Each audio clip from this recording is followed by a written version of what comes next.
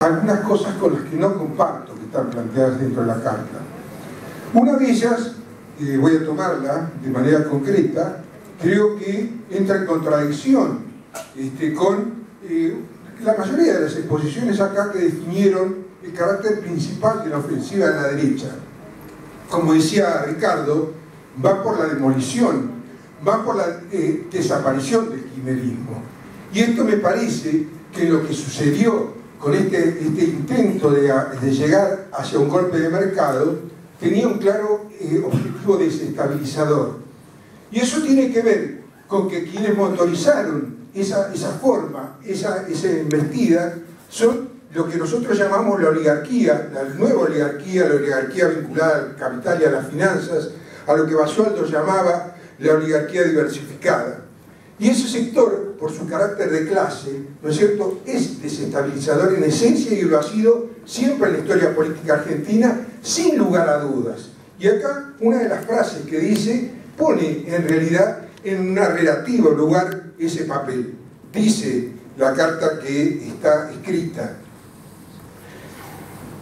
Suele verse exageración o grandilocuencia cuando se denuncia que esta situación incita a la desestabilización política pero lo cierto es que, aunque esto puede no estar en la voluntad inmediata de los grandes grupos, eh, yo digo, está en la voluntad inmediata de los grandes grupos. No podemos relativizar ese punto. Yo propongo que ese punto se modifique brevemente, porque lo esencial está bien encaminado, pero no podemos dejar a dudas con esa situación. Suerte que vos podés leer. La otra... Todos los que estamos acá no podemos leer. Bueno, porque si hizo yo, perdón, voy a aclarar algo. Siempre con la misma No, no, compañero, perdón. Yo soy, yo soy ahora, por elección de miembro de la coordinación. Sin embargo, yo tampoco pude leerla antes, porque un grupo de compañeros se reunieron y se recién a de la tarde y hicieron llegar. Yo no pude participar en el debate en este sentido, pero tiene que ver con la urgencia de los acontecimientos, tiene que ver con la dramaticidad de la situación y con la necesidad de que hoy se hiciera esta asamblea, porque si no, no se hubiera podido hacer esta asamblea. Yo no en que se la carta, no compañeros. Es correcto lo que se hizo con la carta y cómo se manejó, y hoy estamos acá dando la cara el debate en lo que estamos de acuerdo y en lo que no estamos de acuerdo, compañeros. Y en ese sentido me apoyo en lo que planteó también el compañero Ricardo. No cabe duda que nosotros estamos con la compañera Cristina y con este proceso político, pero tenemos que desarrollar un debate porque tenemos críticas y tenemos opiniones que es necesario que se difundan y que se tengan en cuenta. Hay otro aspecto, hay otro aspecto, hay otro aspecto que no comparto con la carta, pero quiero hacer una aclaración antes. El problema de la política de precios, la actitud tomada por el gobierno de enfrentar este, con los precios cuidados y llamar y convocar, ¿no es cierto?, a controlarlo a los sectores populares, yo creo que es esencialmente justa. Y digo que es esencialmente justa porque apunta en primer lugar a una cuestión. Imputa, eh, eh, eh, implica diferenciar quién es el responsable de los precios. Si no adoptar esa situación, el gobierno asumiría enteramente la responsabilidad del proceso inflacionario. Al plantear los precios cuidados y señalar a los responsables y llamar a la población, pone en claro que hay dos campos distintos. Están los que formaron los precios, los que impulsan, eh, la inflación y el gobierno popular que intenta resguardarnos de esa situación y da una pelea por morigerar los efectos de la inflación. Pero sin embargo, creo que no se puede plantear como un aspecto primordial. No estoy de acuerdo con la cuestión primordial, porque es una política peligrosa la que de llevar adelante el control de precios y tiene una serie de dificultades y además algunas están implicadas con el planteo que hacía Poyesi y que hacía Carlito Girotti. Porque el problema es quién debe cumplir un papel en este momento, por qué la movilización no tiene la suficiente expectativa inmediata en esta situación. Y yo creo que una de las cuestiones es que la militancia no está destinada a cubrir el papel que tiene el conjunto de la población. Eso es limitar, ¿no es cierto?, la convocatoria y, nosotros debemos convocar a la población. Por eso tampoco estoy de acuerdo con Aurelio cuando dice que carta abierta debe ir a controlar cuatro supermercados. Me parece una locura.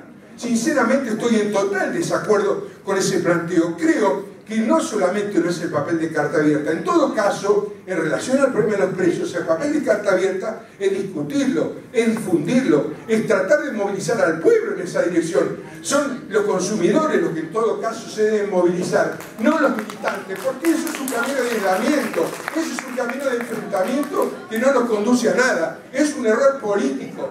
Y tampoco estoy de acuerdo con que la compañera Cristina haya planteado que ese es un papel para los sindicatos. No estoy de acuerdo con que ese es el papel de los sindicatos, compañeros. Es, nuestro papel está en otro plano, está en el plano de la política, porque este problema es un problema político y es en ese terreno donde nosotros nos debemos enfrentar. Por eso digo, en relación a la frase que dice primordial, sostengo que debiera simplemente modificar el término. No es primordial, debería decir que es importante, porque creo que es importante. Pero plantear que es primordial es, en realidad dar lugar a justamente las propuestas que se han hecho de esa naturaleza. E insisto, no estoy de acuerdo con que Carta Abierta deba controlar cuatro supermercados de la capital y que a eso pongámosle la firma de Carta Abierta. De ninguna manera estoy de acuerdo. Y volviendo y tomando otra cuestión sobre las resonancias del título de la carta, de que la patria está en peligro, y esto no tiene nada que ver con el texto, que con esas condicionantes yo estoy totalmente de acuerdo, digo lo siguiente, la patria, no solamente la patria de Argentina, la patria chica está en peligro, en realidad estamos en un momento difícil también para la patria grande, la patria grande también está en peligro, compañeros. Y una de las cosas que yo quiero resaltar poco difundida sobre que la patria grande está en peligro, es que en realidad este proceso latinoamericano no está marchando como quisiéramos para adelante. Es más, estamos enfrentando una coyuntura especialmente difícil. Han fracasado dos convocatorias al Mercosur, compañeros.